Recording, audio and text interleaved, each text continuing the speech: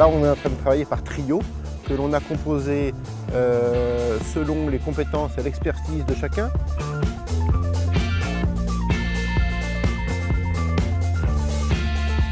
La chose assez intéressante que l'on a découvert cette semaine, c'est euh, que l'on pouvait couler des gelées dans des ballons et les vendre tels quels.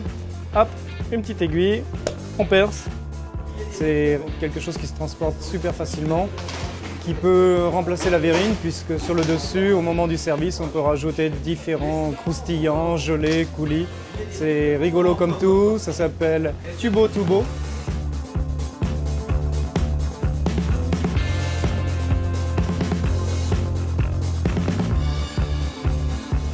La grande différence entre ce que nous faisions auparavant et cette année, c'est qu'on met beaucoup plus au cœur de notre réflexion, de notre imagination, le client, l'artisan, ses besoins, ses attentes, un peu ses rêves.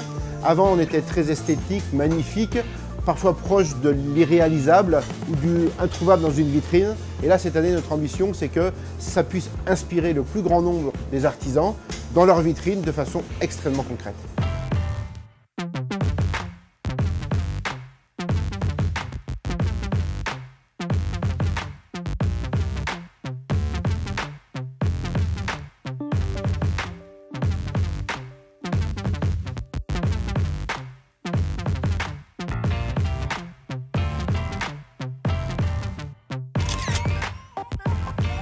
On a tiré le galet euh, bûche entre mai et New. La bûche qui euh, viendrait être accompagnée à l'intérieur avec des cotillons euh, alimentaires, des spirales, des boules, des choses comme ça. Et qu'à chaque fois qu'on prenne une part de bûche, les cotillons tombent et on s'amuse autour du gâteau.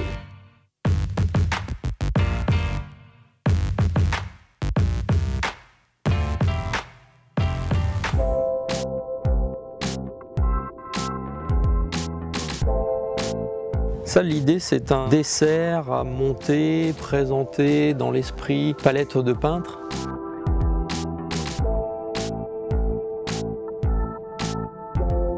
On part sur l'idée d'un ingrédient quasiment seul et placé au centre d'une assiette et puis une palette qui arrive à côté avec des ingrédients qui permettent de finir de construire le dessert. Tu prends la fraise et la vanille, deux, ingrédients euh, basiques. Tu, tu, peux faire plein de choses avec une palette.